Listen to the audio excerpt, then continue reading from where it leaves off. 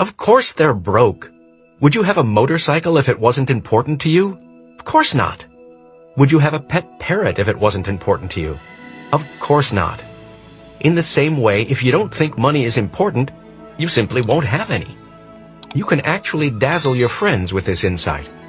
Imagine you're in a conversation with a friend who tells you, money's not important. Put your hand on your forehead and look up as though you're getting a message from the heavens. Then exclaim, you're broke. To which your shocked friend will undoubtedly respond, how did you know?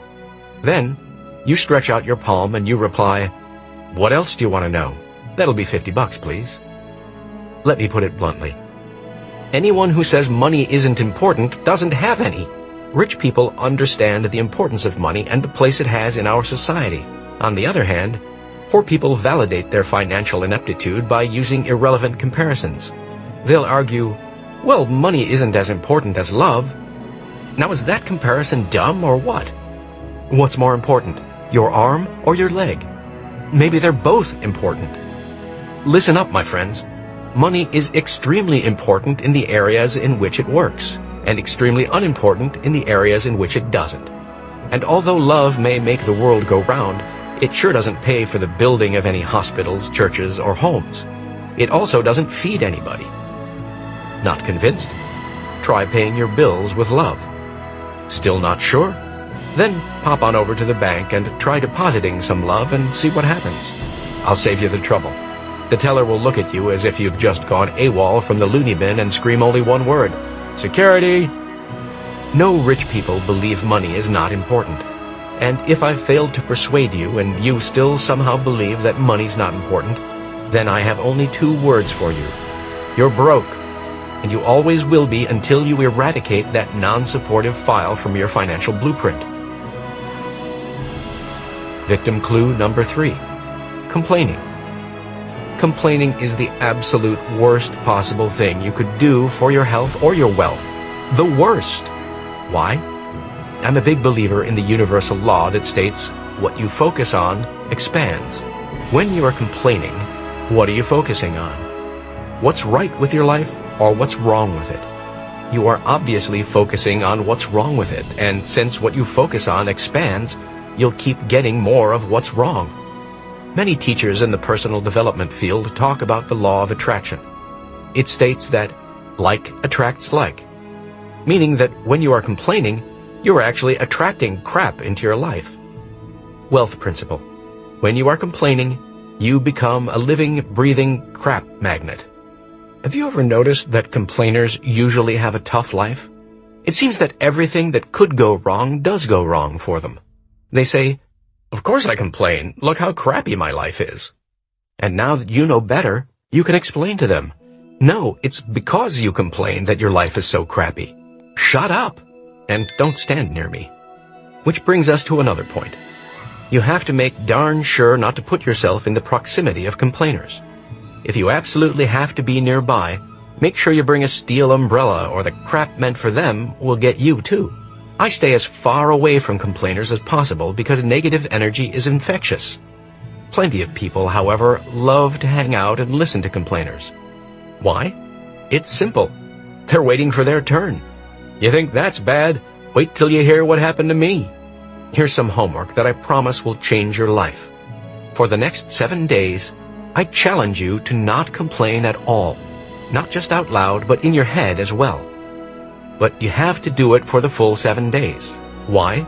Because for the first few days, you may still have some residual crap coming to you from before. Unfortunately, crap doesn't travel at the speed of light, you know. It travels at the speed of crap. So it might take a while to clear out. I've given this challenge to thousands of people, and I'm blown away at how many of them have told me that this one teensy-weensy exercise has transformed their lives. I guarantee you'll be astonished at how amazing your life will be when you stop focusing on, and thereby stop attracting, crap into your life.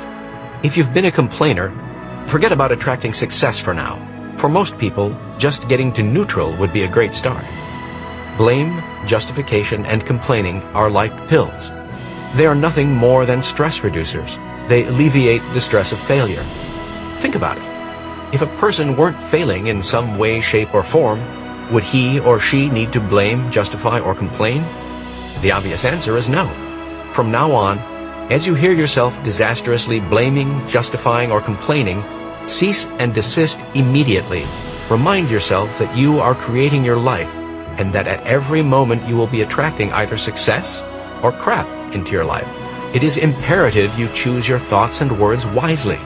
Now you're ready to hear one of the greatest secrets in the world. Are you ready? Listen carefully.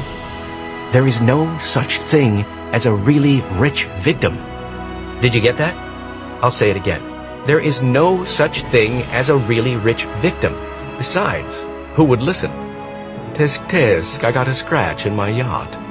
To which almost anyone would respond, who gives a hoot? Meanwhile, being a victim definitely has its rewards. What do people get out of being a victim? The answer is attention. Is attention important? You bet it is. In some form or another, it's what almost everyone lives for. And the reason people live for attention is that they've made a critical mistake. It is the same error that virtually all of us have made. We've confused attention with love. Believe me, it is virtually impossible to be truly happy and successful when you're constantly yearning for attention. Because if it's attention you want, you're at the mercy of others.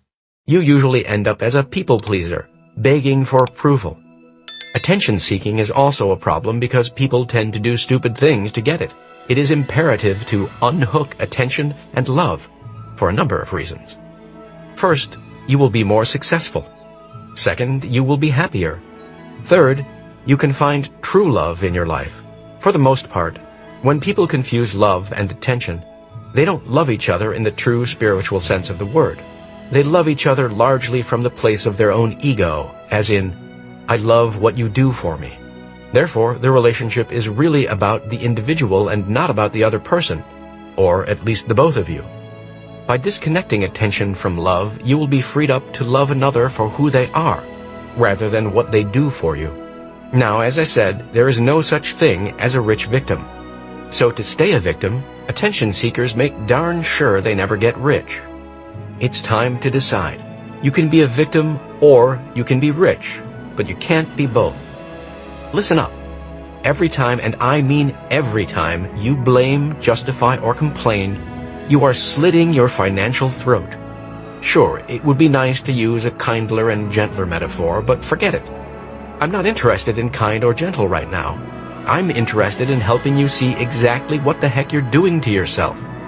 Later, once you get rich, we can be kinder and gentler. How's that? It's time to take back your power and acknowledge that you create everything that is in your life and everything that is not in it. Realize that you create your wealth, your non-wealth, and every level in between. Declaration. Place your hand on your heart and say, I create the exact level of my financial success. Touch your head and say, I have a millionaire mind. Millionaire Mind Actions 1. Every time you catch yourself blaming, justifying, or complaining, slide your index finger across your neck as a trigger to remind yourself that you are slitting your financial throat.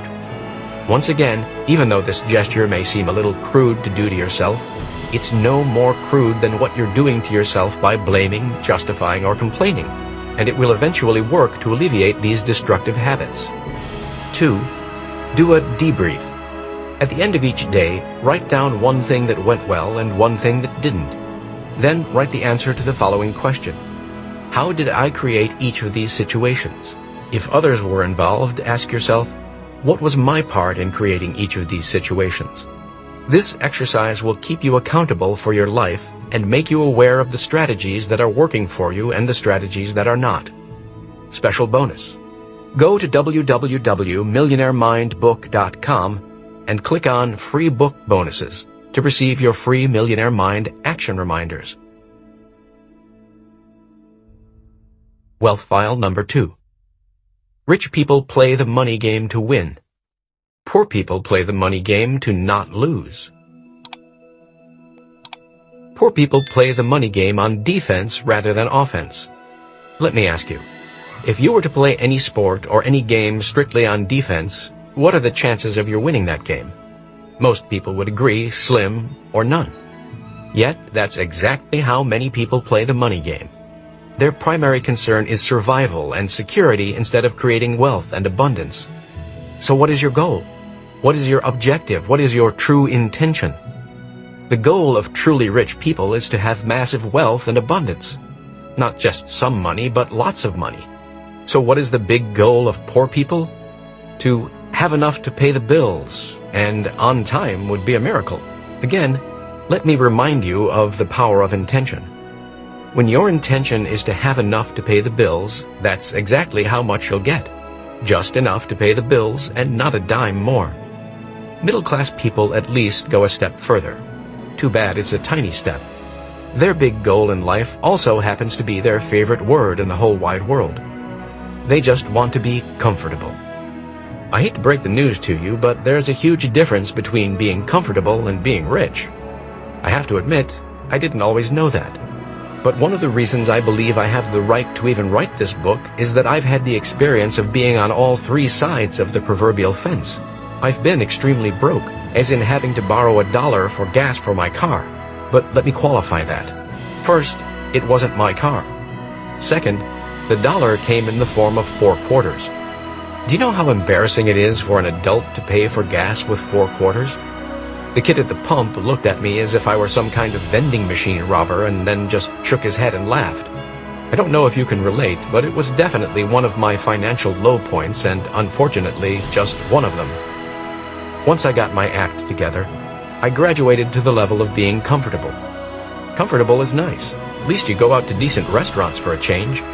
But pretty much all I could order was chicken. Now there's nothing wrong with chicken if that's what you really want, but often it's not. In fact, people who are only financially comfortable usually decide on what to eat by looking at the right-hand side of the menu, the price side. Are you set for earning $20,000 to $30,000 a year? $40,000 to $60,000? $75,000 to $100,000? $150,000 to $200,000? $250,000 a year or more? A few years ago, I had an unusually well-dressed gentleman in the audience during one of my two-hour evening seminars.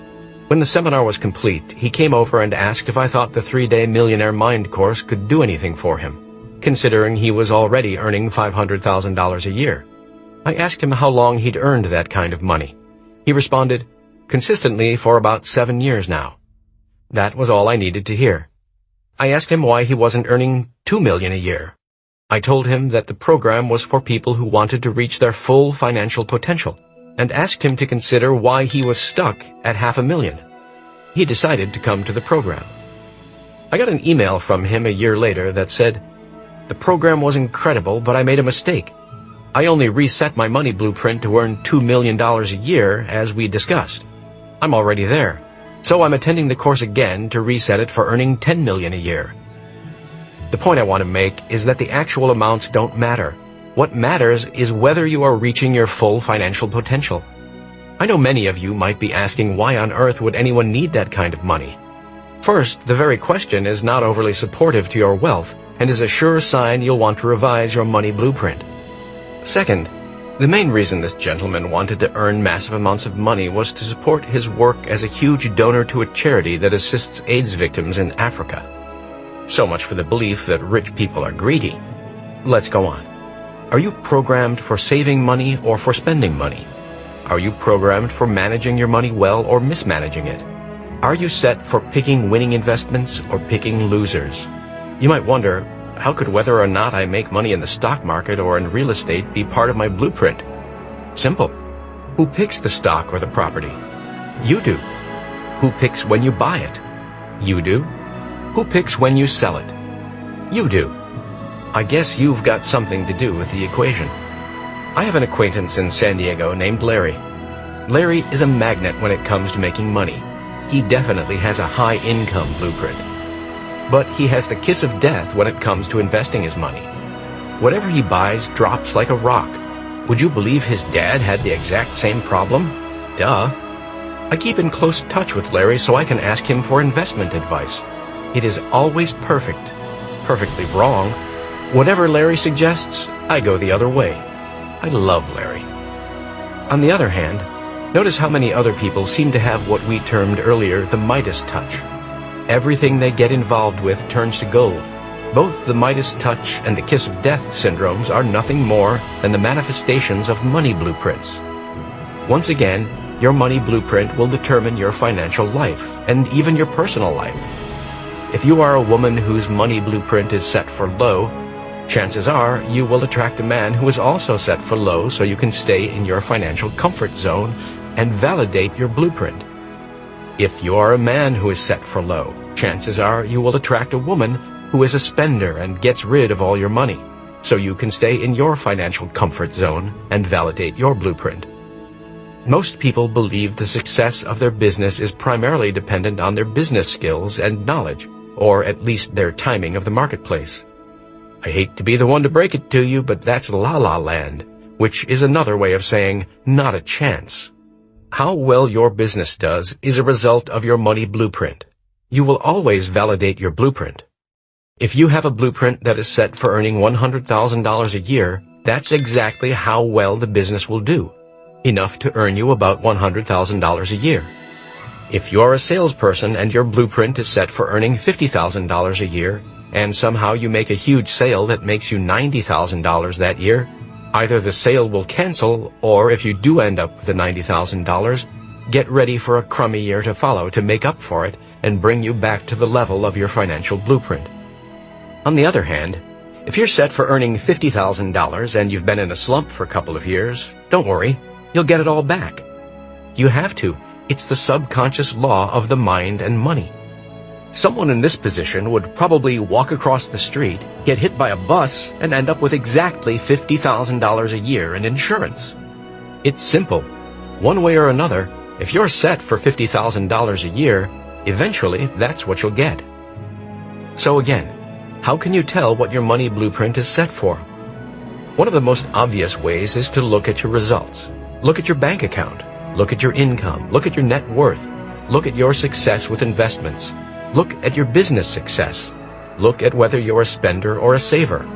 Look at whether you manage money well. Look at how consistent or inconsistent you are. Look at how hard you work for your money. Look at your relationships that involve money. Is money a struggle, or does it come to you easily? Do you own a business, or do you have a job? Do you stick with one business or job for a long time, or do you jump around a lot? Your blueprint is like a thermostat. If the temperature in the room is 72 degrees, chances are good that the thermostat is set for 72 degrees. Now, here's where it gets interesting. Is it possible that because the window is open and it is cold outside, the temperature in the room can drop to 65 degrees? Of course. But what will eventually happen? The thermostat will kick in and bring the temperature back to 72. Also, is it possible that because the window is open and it's hot outside, the temperature in the room can go up to 77 degrees? Sure it could. But what will eventually happen? The thermostat will kick in and bring the temperature back to 72. The only way to permanently change the temperature in the room is to reset the thermostat. In the same way, the only way to change your level of financial success permanently is to reset your financial thermostat, otherwise known as your money blueprint. You can try anything and everything else you want, you can develop your knowledge in business, in marketing, in sales, in negotiations, and in management. You can become an expert in real estate or the stock market.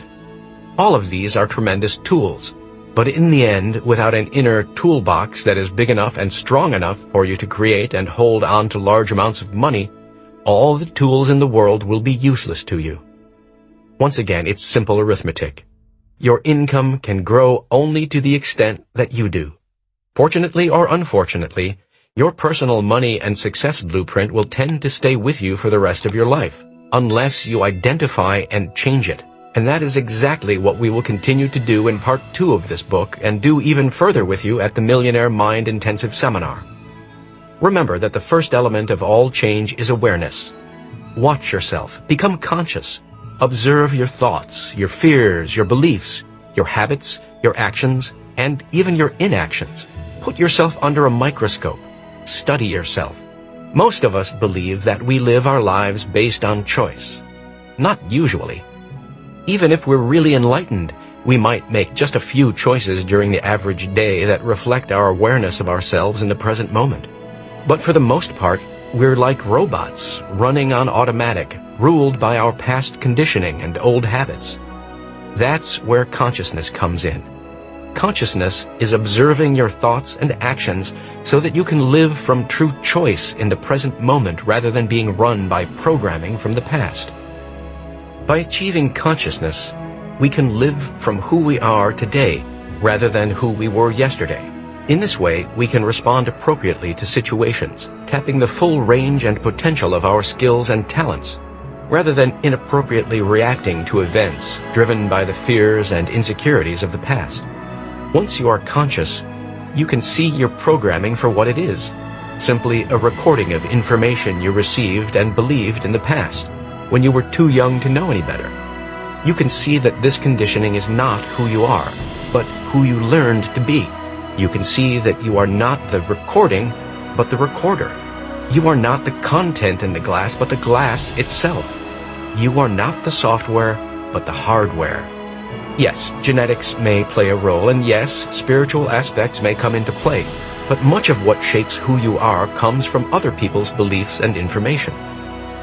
As I suggested earlier, beliefs are not necessarily true or false, right or wrong, but regardless of their validity, beliefs are opinions that are passed around and around and then down from generation to generation to you. Knowing this, you can consciously choose to release any belief or way of being that is not supportive to your wealth, and you can replace it with one that is. In our course, we teach that no thought lives in your head rent-free. Each thought you have will either be an investment or a cost. It will either move you toward happiness and success or away from it. It will either empower you or disempower you. That's why it is imperative you choose your thoughts and beliefs wisely. Realize that your thoughts and beliefs aren't who you are, and they are not necessarily attached to you. As precious as you believe them to be, they have no more importance and meaning than you give them. Nothing has meaning except for the meaning you give it. Recall how at the beginning of this book I suggested you don't believe a word I say? Well, if you really want to take off in your life, don't believe a word you say. And if you want instant enlightenment, don't believe a thought you think. Meanwhile, if you're like most people, you're going to believe something, so you might as well adopt beliefs that support you, rich beliefs. Remember, thoughts lead to feelings, which lead to actions, which lead to results. You can choose to think and act like rich people do and therefore create the results that rich people create. The question is, how do rich people think and act? That's exactly what you'll discover in part two of this book. If you want to change your financial life forever, read on. Declaration. Place your hand on your heart and say, I observe my thoughts and entertain only those that empower me. Touch your head and say, I have a millionaire mind. Success story from Rhonda and Bob Baines. From Rhonda and Bob Baines to T. Harv Eker. Subject, We Feel Free. We went to the Millionaire Mind Intensive not really knowing what to expect. We were very impressed with the results. Before attending this seminar, we were having a lot of money problems. We never seemed to get ahead. We would continually be in debt and not know why. We would pay off our credit cards, usually from a large bonus at work, only to get back into debt within six months. It did not matter how much money we made. We were very frustrated and argued a lot. Then we attended Millionaire Mind. While listening to Harv, my husband and I kept squeezing each other's leg and smiling and looking at each other. We heard so much information that had us saying, no wonder. Oh, so that's why. Everything makes sense now. We were very excited. We learned how he and I think so differently when it comes to money. How he is a spender and how I am an avoider. What a horrible combination. After hearing the information, we stopped blaming each other and started understanding each other, and ultimately started to appreciate and love each other more. It is almost a year later, and we still do not argue about money. We just talk about what we learned. We are no longer in debt. In fact, we have money in savings, the first time in our 16-year relationship. Yeah. We now not only have money for our future, but we also have enough money for our normal everyday expenses, playing, education, long-term savings for a home, and we even have money to share and give away. It feels wonderful knowing that we can use money in those areas and not feel guilty because we allocated and dedicated it for that purpose. We feel free. Thank you very much, Harv. What would you like for dinner tonight, dear? I'll have this 7.95 dish. Let's see what it is. Surprise, surprise, it's the chicken. For the 19th time this week. When you're comfortable, you don't dare allow your eyes to look at the bottom of the menu, for if you did, you might come across the most forbidden words in the middle-class dictionary. Market price. And even if you were curious, you'd never ask what the price actually is. First, because you know you can't afford it. Second, it's downright embarrassing when you know the waiter doesn't believe you when he tells you that the dish is $49 with side dishes extra and you say, hmm, you know what, for some reason, I have a real craving for chicken tonight. I have to say that for me personally, one of the best things about being rich is not having to look at the prices on the menu anymore. I eat exactly what I want to eat regardless of the price. I can assure you, I didn't do that when I was broke or comfortable. It boils down to this. If your goal is to be comfortable, chances are you'll never get rich. But if your goal is to be rich, chances are you'll end up mighty comfortable. One of the principles we teach in our program is, if you shoot for the stars, you'll at least hit the moon. Poor people don't even shoot for the ceiling in their house, and then they just wonder why they're not successful. Well, they just found out. You get what you truly intend to get. If you want to get rich, your goal has to be rich. Not to have enough to pay the bills and not just to have enough to be comfortable. Rich means rich. Declaration. Place your hand on your heart and say, My goal is to become a millionaire and more. Touch your head and say, I have a millionaire mind. Millionaire Mind Actions 1. Write down two financial objectives that demonstrate your intention to create abundance, not mediocrity or poverty. Write play to win goals for your A. Annual income B. Net worth Make these goals achievable with a realistic time frame, yet at the same time remember to shoot for the stars. 2. Go to an upscale restaurant and order a meal at market price without asking how much it costs. If funds are tight, sharing is acceptable. P.S. No chicken. Wealth file number 3. Rich people are committed to being rich. Poor people want to be rich. Ask most people if they want to be rich, and they'd look at you as if you were crazy. Of course I want to be rich, they'd say. The truth, however, is that most people don't really want to be rich. Why? Because they have a lot of negative wealth files in their subconscious mind that tell them there is something wrong with being rich. At our Millionaire Mind Intensive Seminar, one of the questions we ask people is, what are some of the possible negatives about being rich or trying to get rich? Here's what some people have to say. See if you can relate to any of these. What if I make it and lose it? Then I'll really be a failure. I'll never know if people like me for myself or for my money. I'll be at the highest tax bracket and have to give half my money to the government. It's too much work. I could lose my health trying. My friends and family will say, Who do you think you are? and criticize me. Everyone's going to want a handout. I could be robbed. My kids could be kidnapped. It's too much responsibility. I'll have to manage all that money. I'll have to really understand investments. I'll have to worry about tax strategies and asset protection and have to hire expensive accountants and lawyers. Yuck, what a hassle. And on and on it goes. As I mentioned earlier, each of us has a wealth file inside the cabinet called our mind. This file contains our personal beliefs that include why being rich would be wonderful. However, for many people, this file also includes information as to why being rich might not be so wonderful. This means they have mixed internal messages about wealth. One part of them gleefully says, having more money will make life a lot more fun. But then another part screams, yeah, but I'm going to have to work like a dog. What fun is that? One part says, I'll be able to travel the world. Then the other part chirps in, yeah, and everyone in the world will want a handout. These mixed messages may seem innocent enough, but in reality, They are one of the major reasons most people never become rich. You can look at it like this. The universe, which is another way of saying higher power, is akin to a big mail order department. It is constantly delivering people, events, and things to you. You order what you get by sending energetic messages out to the universe based on your predominant beliefs.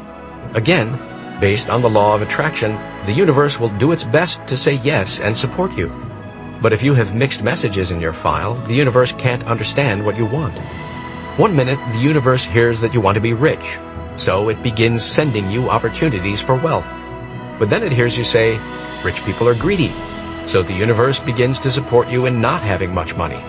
But then you think, having a lot of money makes life so much more enjoyable.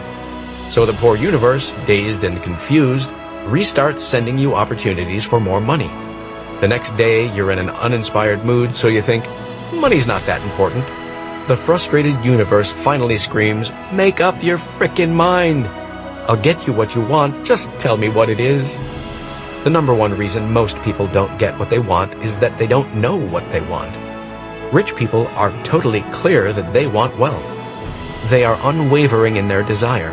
They are fully committed to creating wealth. As long as it's legal, moral, and ethical, they will do whatever it takes to have wealth. Rich people do not send mixed messages to the universe. Poor people do.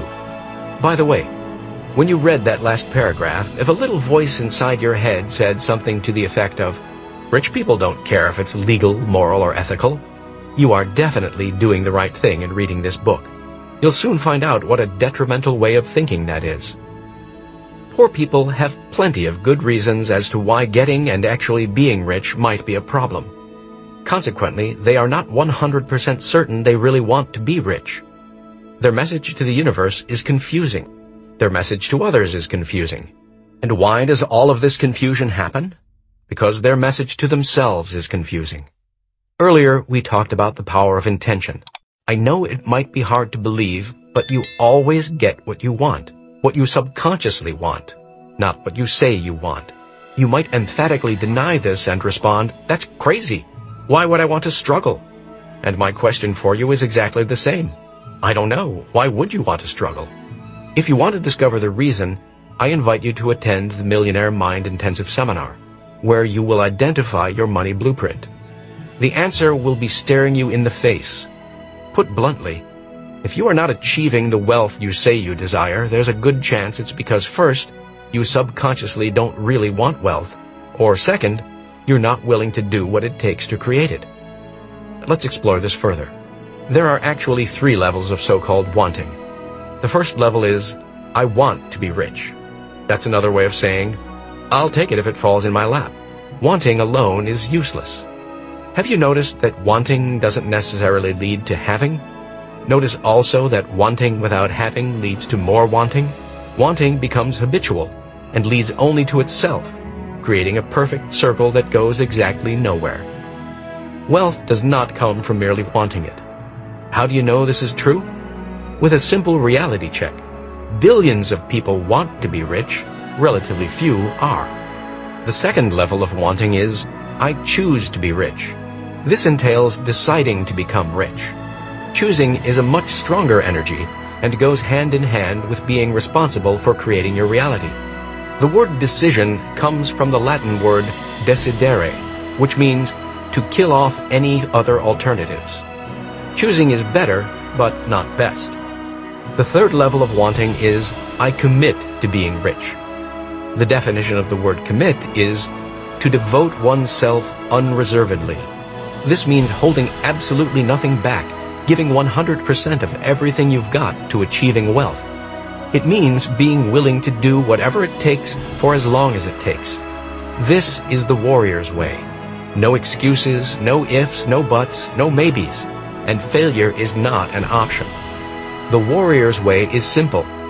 I will be rich or I will die trying.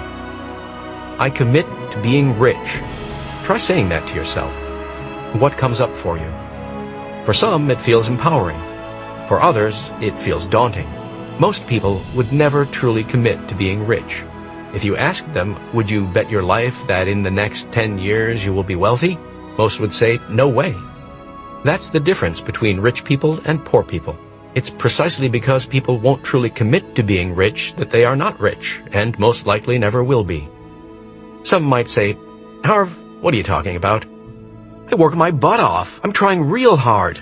Of course I'm committed to being rich. And I would reply, that you're trying means little. The definition of commitment is to devote oneself unreservedly. The key word is unreservedly, which means you're putting everything, and I mean everything you've got into it. Most people I know who are not financially successful have limits on how much they are willing to do, how much they are willing to risk, and how much they are willing to sacrifice. Although they think they're willing to do whatever it takes, upon deeper questioning, I always find they have plenty of conditions around what they are willing to do and not do to succeed. I hate to have to be the one to tell you this, but getting rich is not a stroll in the park, and anyone who tells you it is either knows a heck of a lot more than me or is a little out of integrity. In my experience, getting rich takes focus, courage, knowledge, expertise, 100% of your effort, a never give up attitude, and of course, a rich mindset. You also have to believe in your heart of hearts that you can create wealth and that you absolutely deserve it. Again, what this means is that if you are not fully, totally, and truly committed to creating wealth, chances are you won't. Are you willing to work 16 hours a day? Rich people are.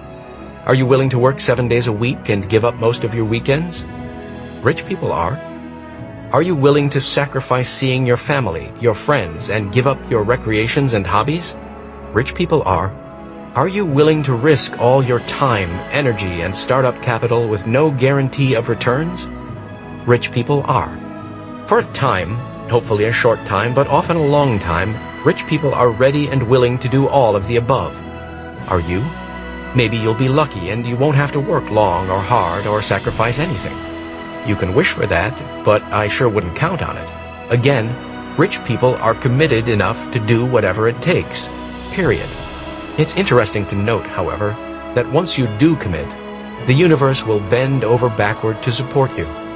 One of my favorite passages is by explorer W.H. Murray, who wrote the following during one of the first Himalayan expeditions. Until one is committed, there is hesitancy, the chance to draw back, always ineffectiveness. Concerning all acts of initiative and creation, there is one elementary truth, the ignorance of which kills countless ideas and splendid plans, that the moment one definitely commits oneself, then providence moves too. A whole stream of events issues from the decision, raising in one's favor all manner of unforeseen incidents, meetings, and material assistance, which no man could have dreamt would have come his way.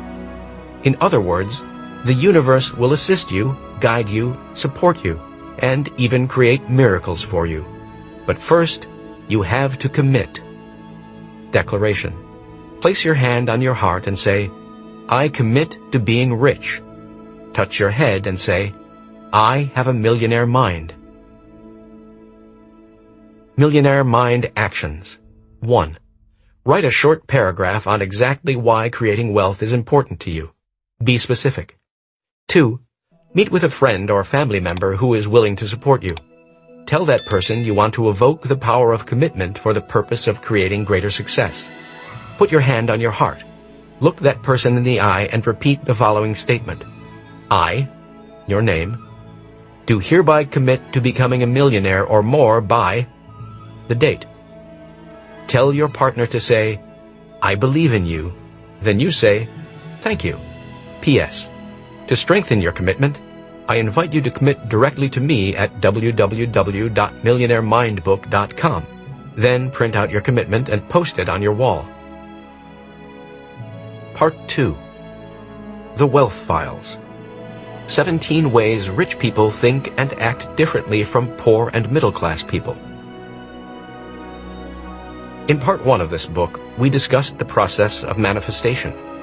Recall that thoughts lead to feelings, feelings lead to actions, and actions lead to results. Everything begins with your thoughts, which are produced by your mind. Isn't it amazing that our mind is pretty much the basis for our life? And yet most of us have no clue as to how this powerful apparatus functions. So let's start by taking a simple look at how your mind works. Metaphorically, your mind is nothing more than a big file cabinet, similar to what you'd find in your office or home. All information that comes in is labeled and filed in folders so that it's easy to retrieve to help you survive. Did you hear that? I didn't say thrive, I said survive. In every situation, you go to the files of your mind to determine how to respond. Say, for example, you're considering a financial opportunity. You automatically go to your file labeled money, and from there decide what to do. The only thoughts you can have about money will be what are stored in your money file. That's all you can think about because that's all that's in your mind under that category. You decide based on what you believe is logical, sensible, and appropriate for you at the time. You make what you think is the right choice. The problem, however, is that your right choice may not be a successful choice. In fact, what makes perfect sense to you may consistently produce perfectly poor results. For instance, let's say my wife is in the mall. That shouldn't be too hard for me to imagine. She sees this green purse. It's on sale for 25% off. She immediately goes to her mind files with the question, should I get this purse? In a nanosecond, her mind files come back with the answer. You've been looking for a green purse to go with those green shoes you bought last week. Plus, it's just the right size. Buy it. As she rushes to the checkout counter, her mind is not only thrilled that she's going to have this beautiful purse, but glowing with pride that she got it for 25% off. To her mind, this purchase makes perfect sense.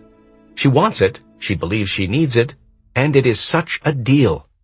However, at no point did her mind come up with the thought, True, this is a really nice purse, and true, this is a great deal, but right now I'm $3,000 in debt, so I'd better hold off. She didn't come up with that information because no file in her head contains that. The file of, when you're in debt, don't buy anymore, was never installed in her and doesn't exist, which means that particular choice is not an option. Do you catch my drift? If you've got files in your cabinet that are non-supportive to financial success, those will be the only choices you can make. They'll be natural, automatic, and make perfect sense to you. But in the end, they will still produce financial failure or mediocrity at best.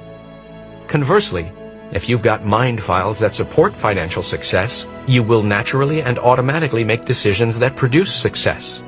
You won't have to think about it.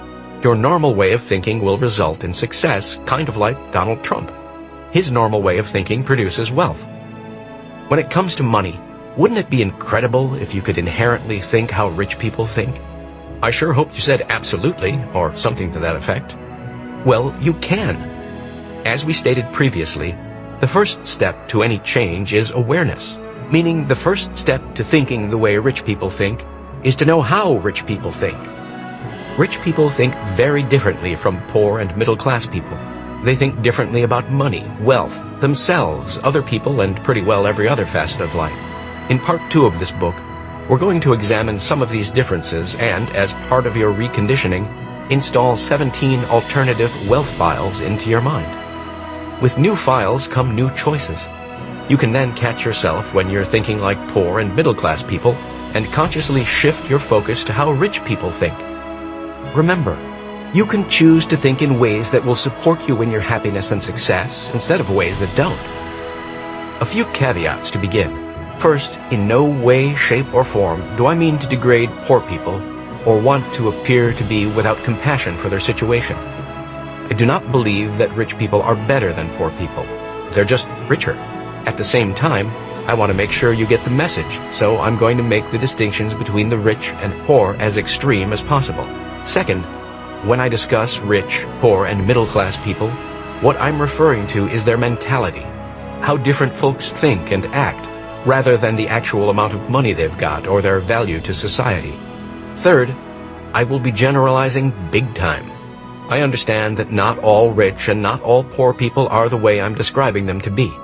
Again, my objective is to make sure you get the point of each principle and use it. Fourth, for the most part, I will not always be referring to the middle class specifically, because middle class people usually have a mix of rich and poor mentalities. Again, my goal is for you to become aware of where you fit on the scale and to think more like the rich if you want to create more wealth. Fifth, several of the principles in this section may appear to deal with more habits and actions than with ways of thinking. Remember, our actions come from our feelings which come from our thoughts. Consequently, every rich action is preceded by a rich way of thinking. Finally, I'm going to ask you to be willing to let go of being right. What I mean by that is, be willing to let go of having to do it your way. Why? Because your way has gotten you exactly what you've got right now. If you want more of the same, keep doing it your way. If you're not yet rich, however, maybe it's time you consider a different way, especially one that comes from someone who is really, really rich and has put thousands of others on the road to wealth too. It's up to you. The concepts you're about to learn are simple but profound. They make real changes for real people in the real world. How do I know? At my company, we get thousands of letters and emails each year telling us how each individual wealth file has transformed people's lives. If you learn them and use them, I am confident they will transform your life too. At the end of each section, you will find a declaration and a physical movement with which to anchor it into your body. You will also find actions to take to support you in adopting this wealth file. It is imperative you put each file into action in your life as quickly as possible so that the knowledge can move to a physical, cellular level and create lasting and permanent change. Most people understand we are creatures of habit. But what they don't realize is that there are actually two kinds of habits, doing habits and not doing habits. Everything you are not doing right now, you are in the habit of not doing. The only way to change these not doing habits into doing habits is to do them. Reading will assist you, but it's a whole different world when you go from reading to doing.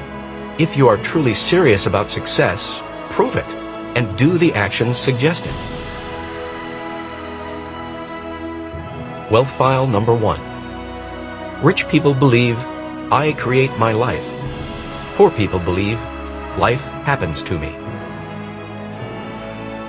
If you want to create wealth, it is imperative that you believe that you are at the steering wheel of your life, especially your financial life. If you don't believe this, then you must inherently believe that you have little or no control over your life, and therefore you have little or no control over your financial success. That is not a rich attitude. Did you ever notice that it's usually poor people who spend a fortune playing the lottery? They actually believe their wealth is going to come from someone picking their name out of a hat.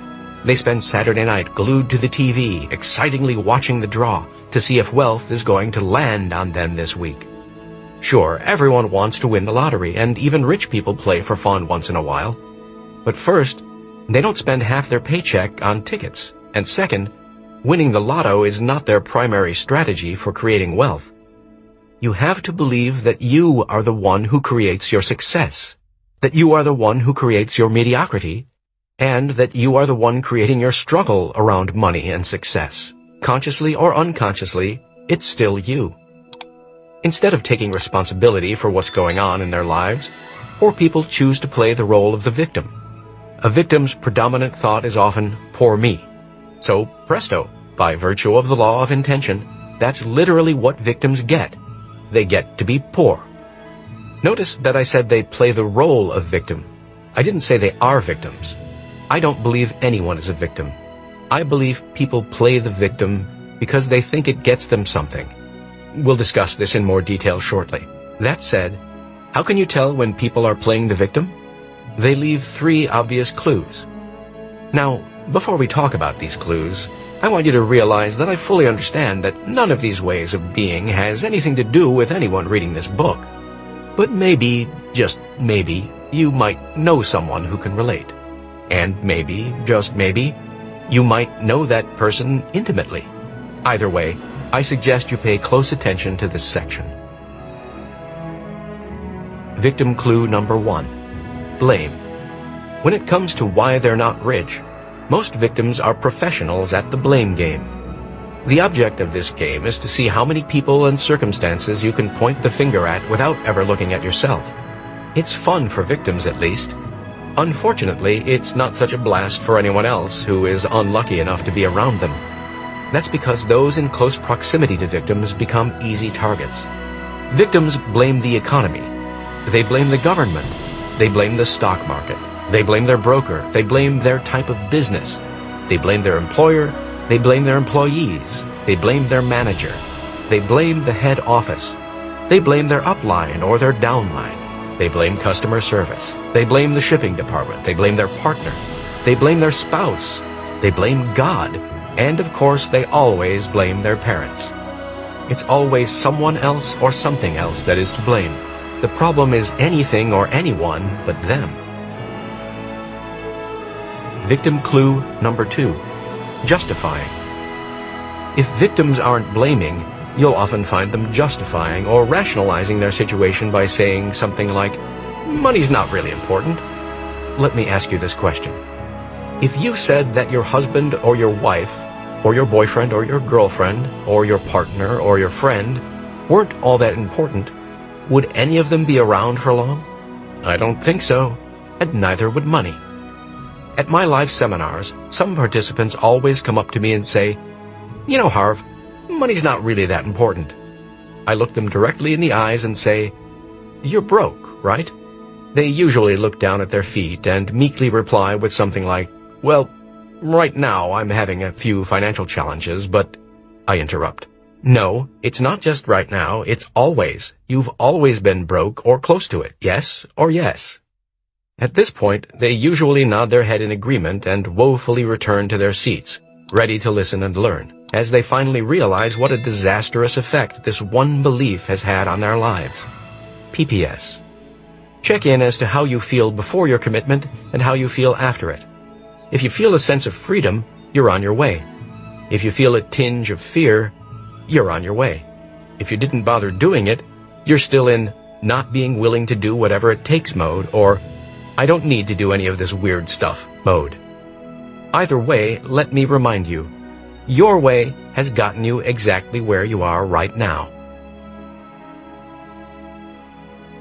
Wealth file number four. Rich people think big. Poor people think small. We once had a trainer teaching at one of our seminars who went from a net worth of $250,000 to over $600 million in only three years. When asked his secret, he said, Everything changed the moment I began to think big. I refer you to the law of income, which states you will be paid in direct proportion to the value you deliver according to the marketplace. The key word is value. It's important to know that four factors determine your value in the marketplace supply, demand, quality, and quantity. In my experience, the factor that presents the biggest challenge for most people is the quantity. The quantity factor simply means how much of your value do you actually deliver to the marketplace. Another way of stating this is how many people do you actually serve or affect? In my business, for instance, some trainers prefer teaching small groups of 20 people at a time. Others are comfortable with 100 participants in the room. Others like an audience of 500, and still others love audiences of 1,000 to 5,000 or more. Is there a difference in income among these trainers? You better believe there is. Consider the network marketing business. Is there a difference in income between someone who has 10 people in his or her downline and someone who has 10,000 people? I would think so. Near the beginning of this book, I mentioned that I owned a chain of retail fitness stores. From the moment I even considered going into this business, my intention was to have 100 successful stores and affect tens of thousands of people. My competitor, on the other hand, who started six months after me, had the intention of owning one successful store. In the end, she earned a decent living. I got rich. How do you want to live your life? How do you want to play the game? Do you want to play in the big leagues or in the little leagues? In the majors or the minors? Are you going to play big or play small? It's your choice. Most people choose to play small. Why? First, because of fear. They're scared to death of failure, and they're even more frightened of success. Second, people play small because they feel small. They feel unworthy. They don't feel they're good enough or important enough to make a real difference in people's lives. But hear this. Your life is not just about you. It's also about contributing to others. It's about living true to your mission and reason for being here on this earth at this time. It's about adding your piece of the puzzle to the world. Most people are so stuck in their egos that everything revolves around me, me, and more me. But if you want to be rich in the truest sense of the word, it can't only be about you. It has to include adding value to other people's lives. One of the greatest inventors and philosophers of our time, Buckminster Fuller, said, The purpose of our lives is to add value to the people of this generation and those that follow. We each came to this earth with natural talents, things we're just naturally good at. These gifts were given to you for a reason, to use and share with others. Research shows that the happiest people are those who use their natural talents to the utmost. Part of your mission in life, then, must be to share your gifts and value with as many people as possible. That means being willing to play big. Do you know the definition of an entrepreneur? The definition we use in our program is a person who solves problems for people at a profit. That's right. An entrepreneur is nothing more than a problem solver. So I ask you, would you rather solve problems for more people or fewer people? If you replied more, then you need to start thinking bigger and decide to help massive numbers of people, thousands, even millions. The byproduct is that the more people you help, the richer you become, mentally, emotionally, spiritually, and definitely financially. Make no mistake, every person on this planet has a mission.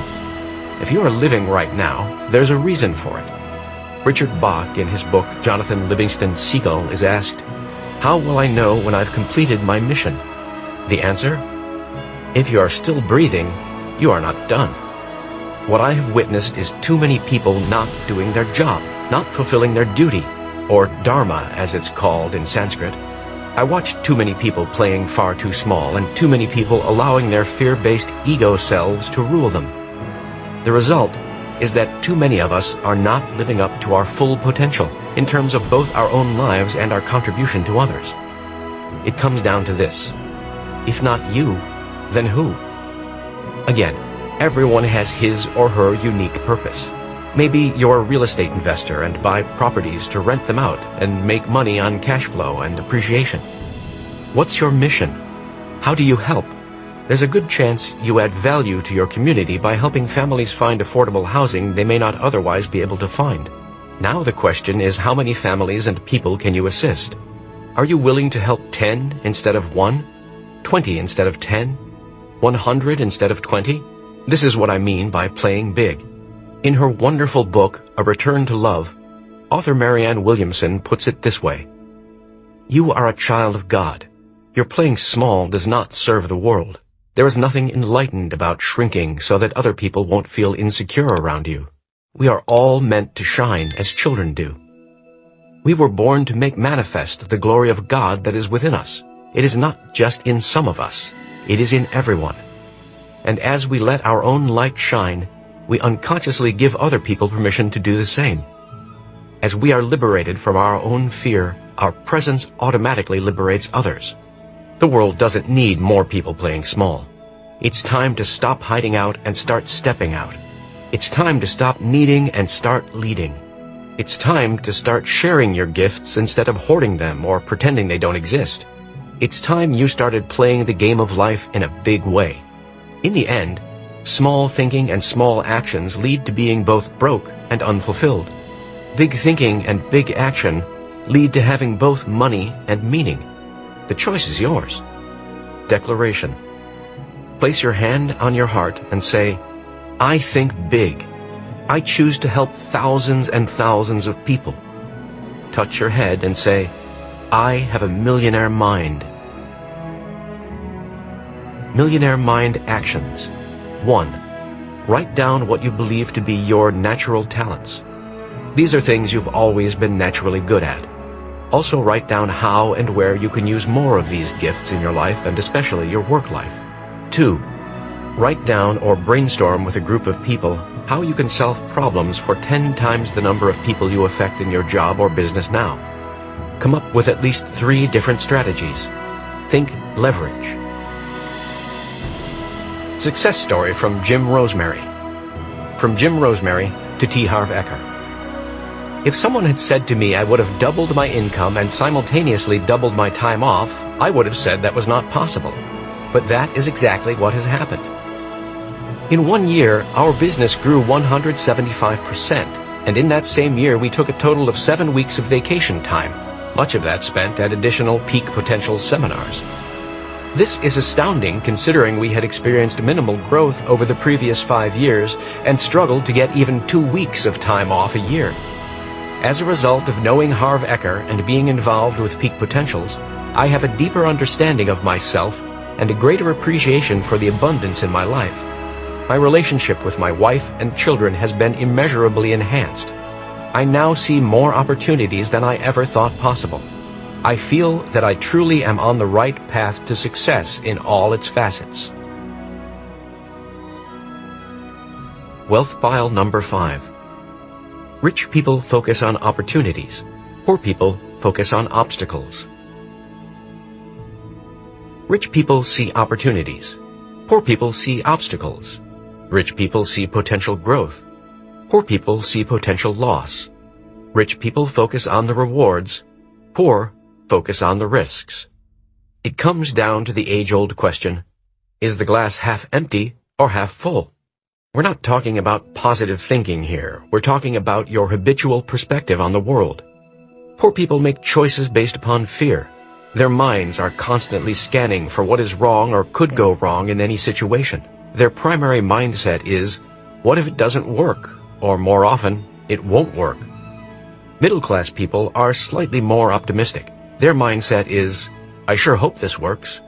Rich people, as we've said earlier, take responsibility for the results in their lives and act upon the mindset, it will work because I'll make it work. Rich people expect to succeed.